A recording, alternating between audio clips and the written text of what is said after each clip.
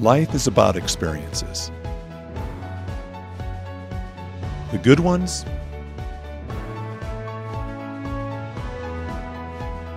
and the not so good ones.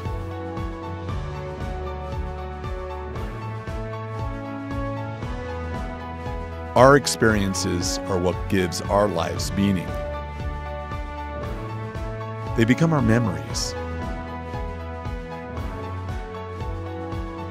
They make us who we are. So tell me, have you experienced Jesus in your life? The greatest experience of all.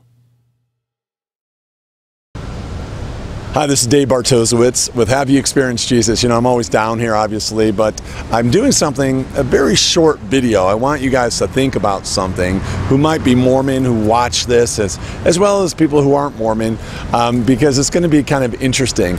When I was at BYU, I actually graduated from Brigham Young University in Provo. And um, I wasn't a Mormon at that time, but I was given actually a, a Book of Mormon from uh, a girlfriend of mine at that time, and she wanted me to have that. And I want to give you a little insight. This was actually printed in 1983. This is the Book of Mormon. You can see it's right there. It's a little old right now, but let me show you. You know, that's the Book of Mormon. You can see the page are, are a little worn, and uh, the Doctrine and Covenants is there, and it opens up to the Hand of Mormon. Now this was printed in 1983. And I want you to see the introduction because this is really important for you to see. I don't know if you're able to see that. If you aren't able to see it, I'm also going to take a picture of this and put it on as well so that you can actually see it. But what I want you to do is come back to me now, cameraman. I want to talk to you a little bit more about what this says. Now, this is the introduction. Now, the introduction says the Book of Mormon is a volume of holy scriptures comparable to the Bible.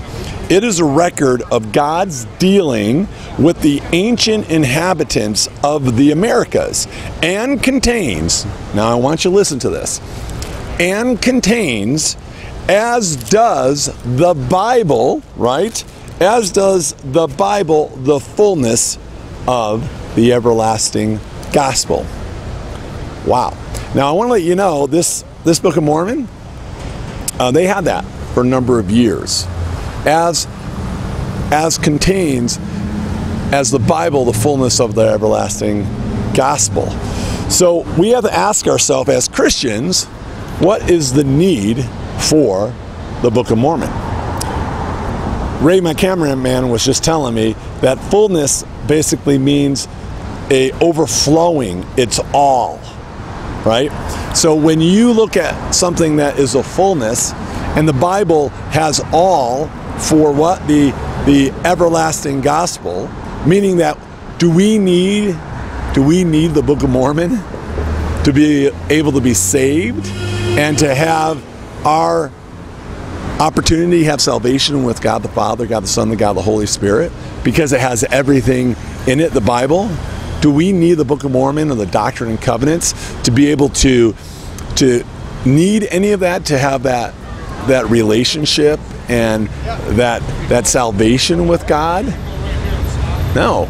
If what the Book of Mormon, and I'm going to say I believe that introduction, right? In the sense that the, the Bible is the fullness of the gospel. I'm going to believe that. What's the purpose of this religion claiming that they're the only true church?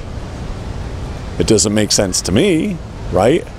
Now, interesting, interesting, they took that out. So if you go in the new editions and the introduction page, it's not there. You have to ask yourself, hmm, I wonder why they took it out. Maybe because they realize that what I am saying right now is what people are thinking. So they don't want that. They don't want other people, other Christians, to consider that. Interesting thought, interesting idea. Go on the 1983 Book of Mormon introduction page, find it. I'm going to actually put that that photo right now. You could see it. It's validated, and you got to ask yourself, why did they change it? Good thoughts. Thanks for watching.